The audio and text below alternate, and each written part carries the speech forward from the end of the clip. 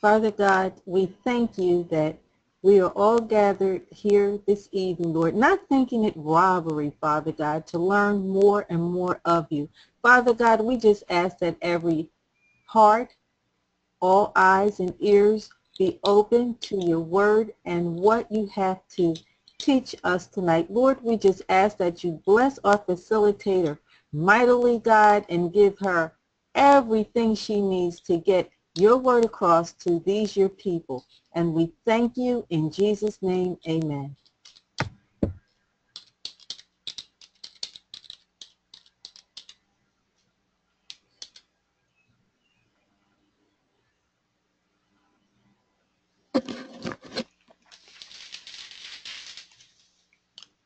I don't know if anybody can hear you, Jackie. I cannot hear you.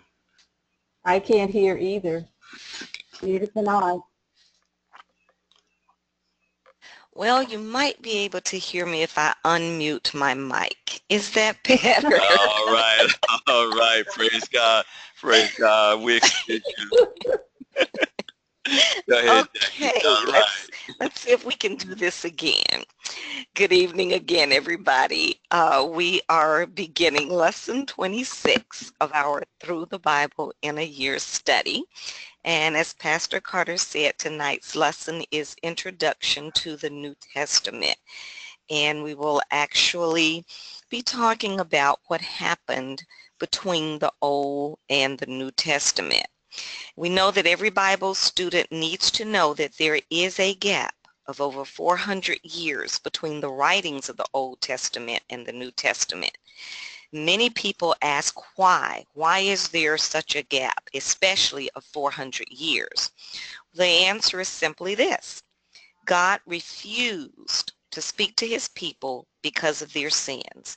We know that up until this point, God's chosen people had been promised that he would always be with them, that he would never leave them, and we know that just like children do, they were obedient, then disobedient, then obedient, then disobedient. They would cry out to God. He would listen to the, them.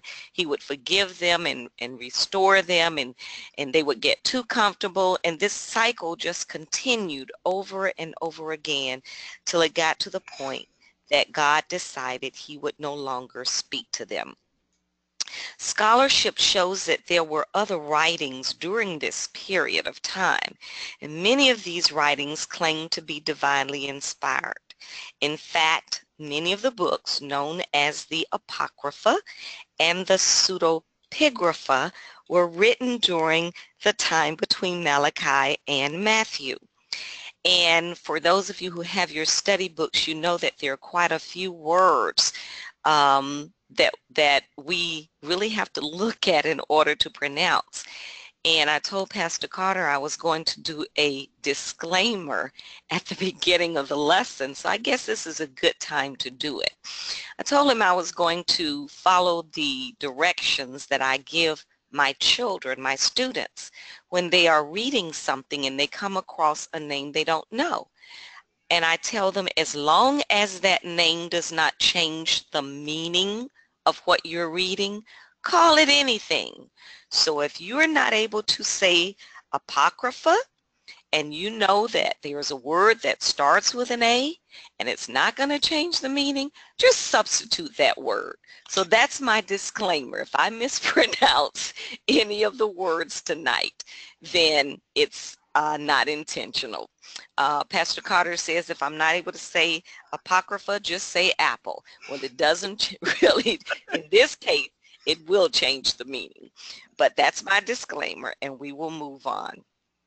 The Apocrypha is the name that was given to a list of 16 to 20 or more books that the councils rejected as being spiritual based on their doubtful authorship and their contents.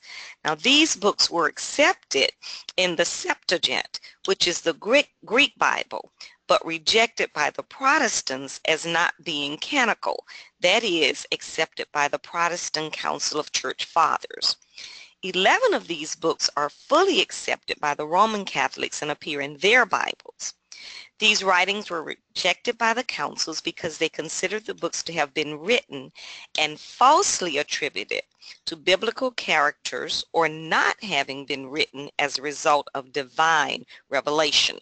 Because we do say that um, God's Word, the Bible, was divinely inspired.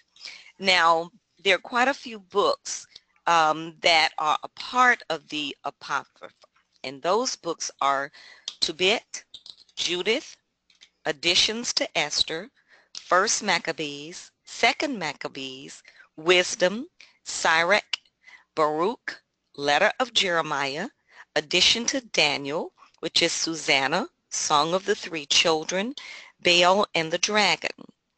There's also uh, Esdras, First Esdras, Second Esdras, Prayer of Manasseh, Book of Jubilees, Third Maccabees, Fourth Maccabees, Psalm 151, Psalms 152 through 155.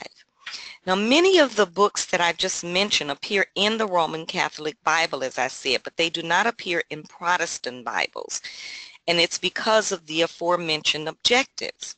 Now, the Church Fathers at the Council of Nicaea around 325 AD did not believe that the above books were divinely inspired. And there is a second class of contested books that were written before, during, and after the intertestamental period, 400 BC or earlier, until the first century AD and beyond. And these books are called the pseudepigrapha. The term pseudepigrapha refers to the books whose claimed authorship is not verified and whose real authors attributed their works to some biblical character that had lived in a time past. These books are not accepted in the Protestant Bible either, although many secret societies, including the Masonic Order, use some of these books in their rituals and teachings. Christians do need to be made aware of the fact that these books are not scriptural and that they should not regard these books as being scriptural or divinely inspired. We need to know that some of the writers of the Bible quoted from or gave reference to some of the books of both the Apocrypha and the Pseudepigrapha in their writings. Just as we listed some of the books in the um, Apocrypha, there are also books that can be categorized as being books in the Pseudepigrapha. That's 3rd Mac Maccabees, 4th Maccabees, Assumption of Moses, the Book of Enoch 1, the Book of Enoch 2, the Book of Jubilees, the Greek uh, Apocalypse of Baruch, the letter of Aristeas, Life of Adam and Eve, Martyrdom and Ascension of Isaiah, Psalms of Solomon, Sibylline Oracles, Syriac um, Apocalypse of Baruch, Testament of the Twelve Patriarchs, the Gospel of Peter, Second Epistle of Peter, Gospel of Barnabas, and Gospel of Judas. And you'll note that some of these are listed in both. Now, um, Pastor Carter, or the author of our Bible workbook, highlighted, chose to highlight the above categories of book in order to alert us as students in the course that there are books out there that many people claim to be additions to the Bible.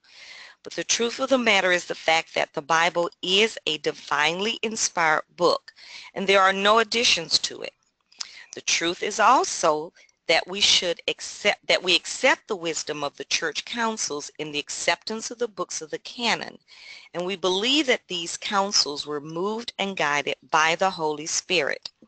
And I always say as I was taught uh, by one of my ministers um, that you need to study to show yourself approved.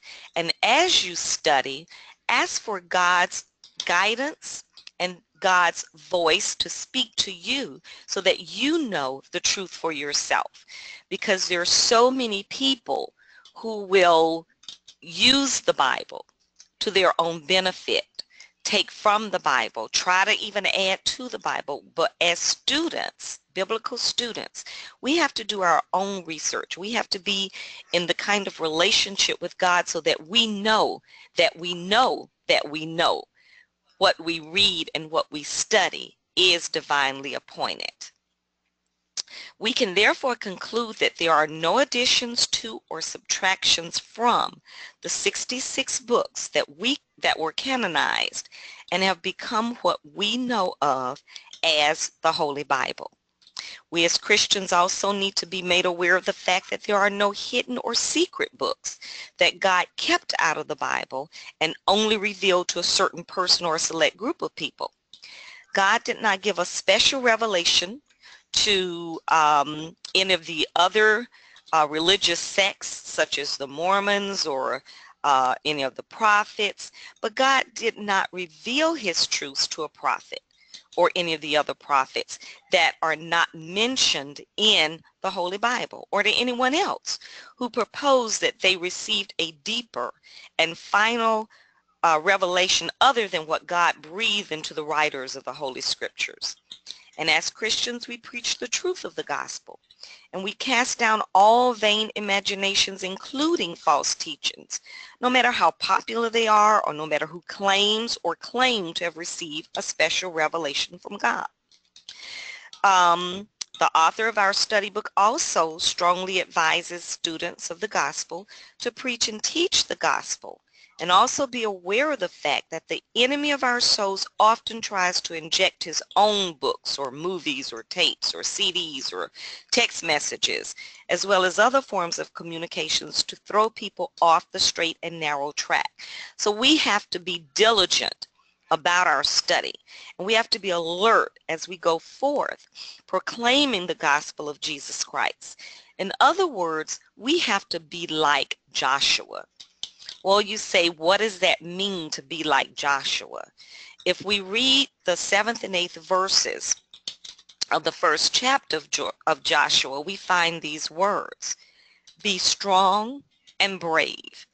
Be sure to obey all the teachings my servant Moses gave you. If you follow them exactly, you will be successful in everything you do. Always remember what is written in the book of the teachings. Study it day and night. Then you will be sure to obey everything that is written there. If you do this, you will be wise and successful in everything. And for those of you who are uh, with us for the first time of my teachings, I use the Everyday Bible. So it sounds very different from what you may read if you are reading uh, the KJV or the NIV or perhaps some of the other translations. So what about um, more information concerning what happens between the test of the New Testament and the Old Testament, what happens during this four year, 400 years of silence. We find that there were several periods that the people experienced, and the first of these being the Persian period and this refers to the time of the Persian rule after the Jews were returned from exile in Babylon. And it lasted from approximately 430 to 332 BC. The Jews had been captured in 587 BC by Nebuchadnezzar of Babylon. Later, the Babylonians were overthrown by the Persians. Just as the Babylonians influenced the Jews, so did the Persians. The Persians then were overthrown by the Greeks. And this Greek period lasted from 331 to 167 BC. Now during this time, the Jews, just as the rest of the world, were heavily influenced by the Greek culture. And many of us have heard of Alexander the Great. And in 331 BC, at the age of 20, he assumed command of the Greek army. By 331, the entire world lay at his feet. When he invaded Palestine, Palestine in 332, he showed great consideration to the, to the Jews. He spared Jerusalem and offered favors to any Jew who settled in Alexandria, Egypt. Alexander the Great established Greek cities all over his conquered domains. Thus, he spread the Greek culture and language. His death occurred in 323 BC. This was followed by the Syrian period. And here we see Antiochus Epiphanes, uh, who was the king of Syria. And he ruled Palestine from 175 to 164 BC. However, unlike the favoritism that Alexander the Great showed, he was violently bitter against the Jews and made a serious attempt to exterminate the Jews and their religion. In 168 BC, he devastated the temple. How? He sacrificed a pig on the altar that had been dedicated to God, and he erected an altar to Jupiter. In addition, Antiochus, Antiochus prohibited temple worship. He forbade circumcision on the penalty of death. He sold thousands of Jewish families into slavery and destroyed all the copies of scriptures that could be found.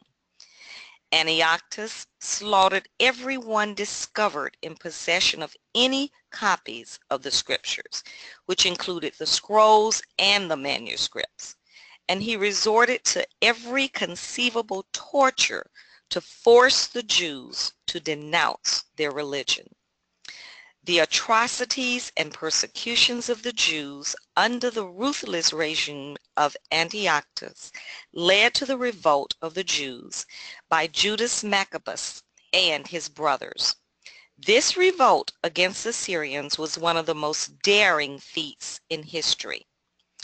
This period, the Syrian period, was followed by the period of independence. Between 167 and 63 BC, the Jews enjoyed a period of independence. This period has been called the Maccabean or Asmonean or Hasmonean period. A priest by the name of Mattathias infuriated by the attempt of Antiochus Epiphanes to destroy the Jews and their religion, gathered a band of loyal Jews and revolted against Syrian rule. Mattathias and his band showed intense patriotism and great courage. Mattathias had five heroic and warlike sons. These sons were Judas, Jonathan, uh, Simon, John, and Eleazar. Eleazar. The mantle fell on his son Judas for leadership of the Jews. Under Judas's leadership, the Jews won many heroic battles against unbelievable odds. And in 1964, Judas Maccabeus reconquered. Five, Jackie. Thank you. In 165 BC. Judas Maccabeus reconquered, purified, and rededicated the temple that had been desecrated. This was the origin of the Feast of Dedication. We then had the Roman period, which lasted from 63 BC until the time of Christ. In the year 63 BC, Palestine was conquered by the Romans under Pompey. As a result of this conquest, the Romans appointed Antipater, an Edomite who was a descendant of Esau, to rule over Judea. Antipater was succeeded by his son, Herod the Great, who ruled as king of Judea from 37 to 3 BC. In order to obtain favor from the Jews or with the Jews, Herod rebuilt the temple with great fervor. But Herod was a very brutal and cruel man. And it was this Herod who ruled Judea when Jesus was born. And it was this Herod who killed the children of Bethlehem.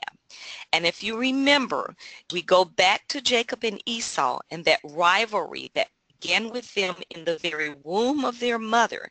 And we see down through the years, even though there was reconciliation between Jacob and Esau, their descendants continued to be at odds against each other. The Old Testament canon uh, is the, the next section that we'll talk about. and the word canon came to be used as the name of the list of books which were recognized as the genuine, original inspired, authoritative Word of God. Early in history, God began the formation of the Bible, which was to be the medium of his revelation of himself to man. And here is what developed. We find in Deuteronomy 10, 4th and 5th verses, the Ten Commandments were written on stone. Moses' law was written in a book, as we find in the 31st chapter of Deuteronomy, uh, 31, 24 through 26 verses. And in Deuteronomy 17 and 18, copies of this book were made. Then when we get to Joshua 24, 26, we see that Joshua added to the book. Samuel wrote in a book and laid it up before God in 1 Samuel 10:25. This book was well known 400 years later, as we see documented in 2 Kings 22, verses 8 through 20. We find prophets wrote in a book in Jeremiah 36:22, in Zechariah 1 and 4, 7, 7 verses 7 through 12. And then we see Ezra reading this book of God publicly in Ezra 7, 6 verse, Nehemiah 8 and 5th verse. In Jesus' day, the Bible was called the Scripture, and it was taught regularly and read publicly in synagogues. It was commonly regarded among the people as the Word of God. Jesus himself repeatedly called it the Word of God. But just when the book, uh, just when the group of the books was completed and set apart as the definitely recognized Word of God, there was still obscurity. The Jews' tradition was that it was done by Ezra. We believe that as these books were written, beginning with Moses, they were at the time recognized as inspired by God and placed in the tabernacle or temple along with the accumulating group of sacred writings. Copies were made as needed. In the Babylonian captivity, they were scattered and many copies were destroyed. Ezra, after his return from captivity, reassembled scattered copies and restored them as a complete group to their place in the temple. From temple copies, other copies were made for the synagogues. The synagogues arose in the days of captivity. With the destruction of the temple and the nation scattered, there was a need for places of instruction and worship wherever there were Jewish communities. So after the return from captivity, the Jews continued to use synagogues both in their homeland and in other lands. All large towns had one or more synagogues. In Jerusalem, even though the temple was there, the city had many synagogues. They were presided over by a board of elders or rulers. Early Christian meetings were modeled in part after the pattern of the synagogues. Then we have the dispersion. This is the name given to the Jews who were living outside of Palestine. Very many of them chose to remain in the lands of the captivity. In the intertestament period, Jews outside of Palestine came to be far more numerous than those living in Palestine. There grew to be strong colonies of Jews in every land and in all the chief cities of the civilized world. Then we had um, a division or groups, one of these being the Pharisees. The sect of Pharisees is thought to have originated in the 3rd century BC, in the days preceding the Maccabean Wars, when the Greek denomination, the Greek denomination and the Greek effort to Hellenize or make Greek the Jews. There was a strong tendency among the Jews to accept Greek culture with its pagan religious customs. The rise of the Pharisees was a reaction and protest against this tendency among their fellow countrymen. The aim of the Pharisees was to preserve their national integrity and strict conformity to Mosaic law. The Pharisees later developed into self-righteous and hypocritical formalists. The Pharisees did not believe in the resurrection from the dead. Hence, they hated the preaching of the apostles. And we know that this was also the group of people who questioned um, Christ during his ministry as to the strict following of the law. But then there was another group, the Sadducees. And this sect was thought to have originated about the same time as the Pharisees. They were a group of people whose religious beliefs differed from those that are generally accepted. Being guided by secular considerations, the Sadducees were in favor of adopting Greek customs. They took no part in the Maccabean struggle for their nation's freedom. The Sadducees were a priestly clique, and though they were the religious officials of their nation, they were totally irreligious. The Sadducees were not numerous, but they were wealthy and influential. To a great extent, they controlled the Sanhedrin Council, even though they were irrationalistic and worldly minded. And we know too that Christ was brought before the Sanhedrin Council. So what was this Sanhedrin Council?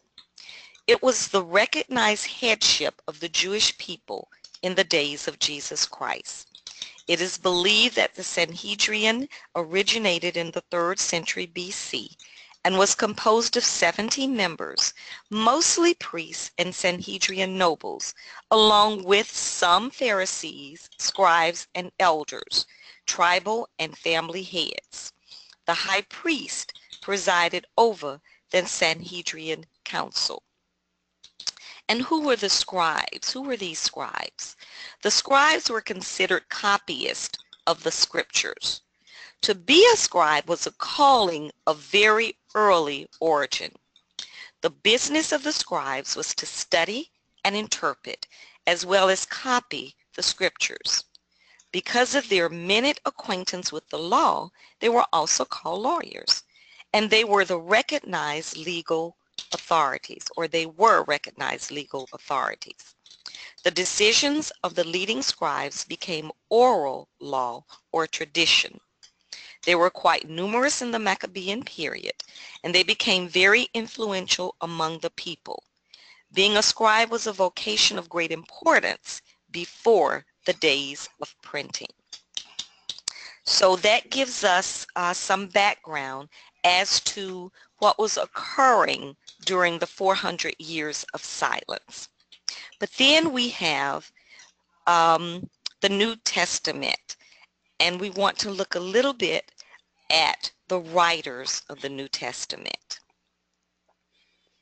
Let's take a look at these writers of the books of the New Testament in an effort to identify who they were and who wrote each book. Let's keep in mind, however, that there were many anonymous writers.